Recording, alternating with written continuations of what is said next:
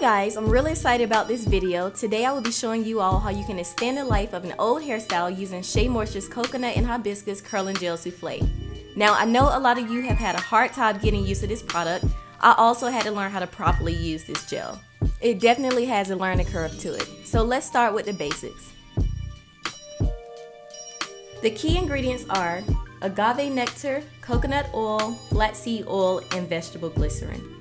So this curling gel will define your curls without leaving your hair stiff. Personally, I think this gel is great if you're not a fan of traditional hair gels.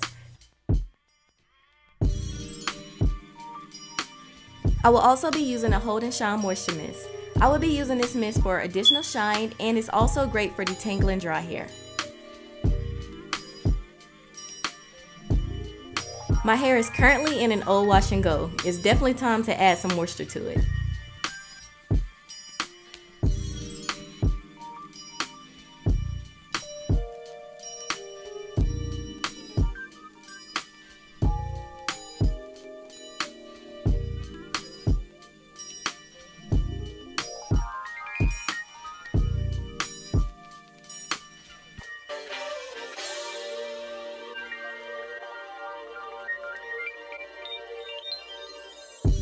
The first thing that I like to do is spray the Hold and Shine mist to my hair. Doing this will lightly dampen my hair.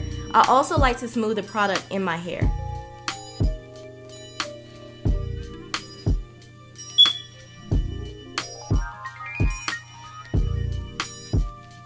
Now it's time for the most important step, applying the curling gel souffle. All you need to do is gently tap your fingers in this product. A little goes a long way.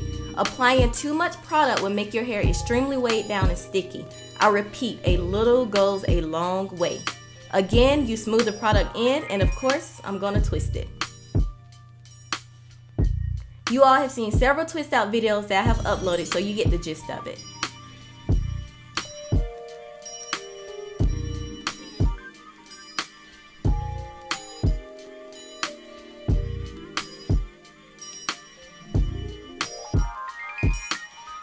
Now it's time to remove the twist.